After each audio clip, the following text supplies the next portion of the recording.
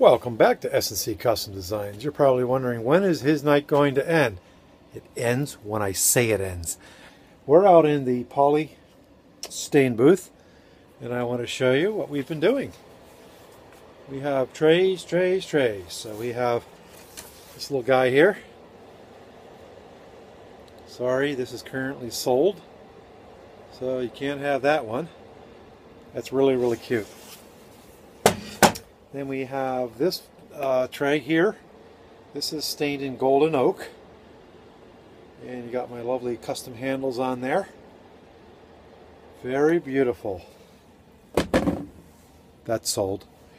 We have this tray here, which is in like a dark beech nut. Really, really, really handsome. So it is nighttime and I just have my spotlights on. And that's hard to really show you. So these guys um, are just stained. They're not polyed yet. And we have one more size over here that we can show you. Isn't this cute? Also sold. Um, so please put your orders in. Let us know what we can do for you. So we stained these over the weekend. Um, And now we're on to the ottoman concept, where a customer wants a tray to put over his ottoman. And as you may recall, I'm going to go ahead and put uh, in our ottoman uh, tray, we're going to put a drawer in it. So you can tuck away those things that you're looking for when you're sitting on the couch. So here we are, we're in the poly tent.